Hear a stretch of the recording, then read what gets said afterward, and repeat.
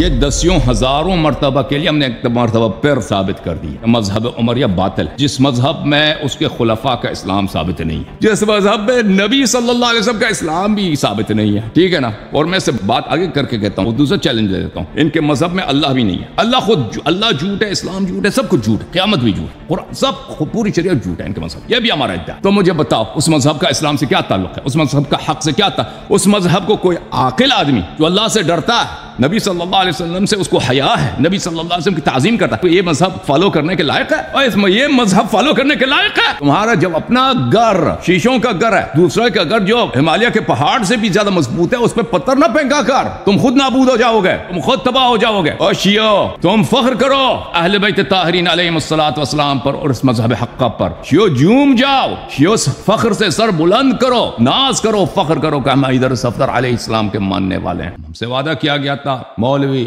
عبد الطیف صفدر صاحب نے، کہ ان کے ساتھ پچھلا جو مناظرہ ہوا تھا دو ہفتے پہلے، ان پہ ہم نے اراد وارد کیا کہ آپ کے مذہب میں رسول اللہ صلی اللہ علیہ وآلہ وسلم کی احانت اور توہین اس حد تک کی گئی ہے کہ ان پر کفر نستجیر باللہ اور ارتداد کے دبے لگائے گئے ہیں۔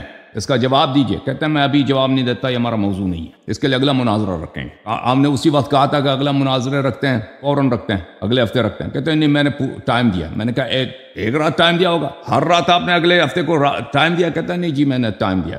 آپ اس سے اگلے والے ہفتے، چلیں۔ اس سے اگلے والے ہفتے کو ہم نے رکھ دیا بھائی۔ اب میں نے اسی وقت کہا تھا کہ یہ شخص بھاگ جائے گا۔ کیونکہ مجھے پتا ہے کہ ان کے مذہب میں جو رسول اللہ صلی اللہ علیہ وسلم کی بے عزتی کی گئی ہے، جو توہین کی گئی ہے، جو رسول اللہ صلی اللہ علیہ وآلہ وسلم پر کفر کے دبے لگائے گئے، بلکہ اللہ پر بات سے بڑی ہے۔ ان کے مذہب میں مذہبی باطل، ان کے مذہب میں دینی باطل ہے قرآنی باطل ہے قیامتی جھوٹ ہے اللہ بھی نہیں ہے۔ ان کے مذہب میں میں یہ کسی مبالغہ سے نہیں کہہ رہا، میں بالکل دلائل کے ساتھ، کیونکہ جب آپ اہل بیت علیہ السلام کا دامن ہاتھ سے چھوڑتے ہیں اور دشمن رسول، دشمن آل رسول علیہ السلاۃ والسلام کی پیچھے لگ جاتے ہیں، تو پھر آپ کے پاس ایمان نہیں رہتا۔ اور وہ آپ کے مذہب کے ساتھ، آپ کے عقائد کے ساتھ وہ کرتا ہے جو آپ اس کا تصور بھی نہیں کر سکتے۔ اہل بیت علیہ السلام اور رسول صلی اللہ علیہ وسلم کے دشمنوں سے محبت کر کے، پیار کر کے ان کی فضائل پڑھ کر آپ مسلمان نہیں رہ سکتے۔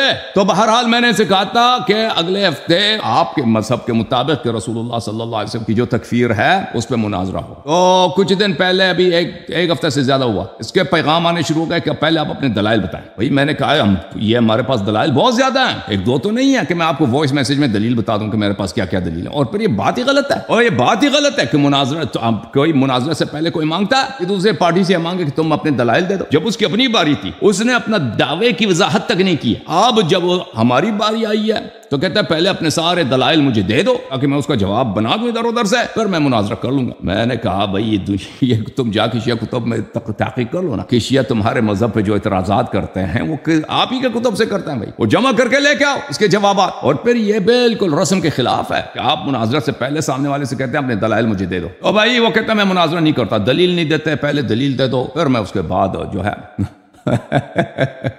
میں آپ سے مناظرہ کروں گا۔ تو یہ شخص بھاگ گیا۔ اس مطلب سے جماعت عمریہ کے عالم صاحب اس مذہب سے مطلب کہ اس بات سے بھاگ گئے، فرار کا راستہ اختیار کیا۔ مطلب کیا کہ تم تمہارے مذہب میں رسول صلی اللہ علیہ وسلم مسلمان ہیں یا مسلمان نہیں ہے کیونکہ اس کو یقین ہے کہ ثابت نہیں کر سکتا بھاگ گیا ہے بھائی، فرار کر گیا اب یاد رکھنا عبد الطیف صفدر کو عبد الطیف صفدر نہیں کہنا۔ عبد الطیف صفدر کو کہہ دو عبد الطیف کیا؟ فراری؟ فراڈی ٹھیک ہے نا؟ کہ اس نے جماعت عمریہ کا منہ کالا کر کے چھوڑ دیا، بھاگ کے تو تجھے تکلیف کیا تھی عبد الطیف تم تم نے آ کے چیلنج دی نا؟ ہم نے تو آپ کو چیلنج نہیں دیا، آپ ادھر آ کے چیلنج دیا۔ اور دوسروں پہ جب پتھر پھینکتے ہو، تو اپنے گھر کا دیکھو، تمہارا گھر شیشے کا ہے یا تمہارا گھر برک سے بنا ہوا، اینٹوں سے بنا ہوا۔ تمہارا جب اپنا گھر شیشوں کا گھر ہے دوسرے کا گھر جو ہمالیہ کے پہاڑ سے بھی زیادہ مضبوط ہے، اس پہ پتھر نہ پھینکا کر۔ تم خود نابود ہو جاؤ گے، تم خود تباہ ہو جاؤ گے۔ الحمد رب العالمین، آج دسیوں ہزار رو مرتبہ کے لیے۔ ہم نے عربی زبان میں، فارسی زبان میں، انگلش زبان میں اتنا اتنا اتنا، ہر دفعہ، اتنے دفعات جماعت عمریہ کے مذہب کو باطل ثابت کر دیا بھائی۔ یہ دسیوں ہزاروں مرتبہ کے لیے ہم نے ایک مرتبہ پھر ثابت کر دیا کہ مذہب عمریہ باطل ہے۔ جس مذہب میں اس کے خلفاء کا اسلام ثابت نہیں ہے۔ اور بھائی، کتنی دفعہ ان لوگوں نے آ کے یہاں پہ تلاش کی، کوشش کی، ابو بکر عمر کا اسلام ثابت کرنے کے لیے؟ ناکام۔ آپ لوگوں نے دیکھا نا؟ جس مذہب میں ان کے اپنے ائمہ کا اسلام ثابت، پر جس مذہب میں ان سے کہتا ہے، آپ کم از کم نبی کے اسلام پہ بات کرتے ہیں۔ آ جاؤ وہ سے بھی بھاگ گئے بھائی۔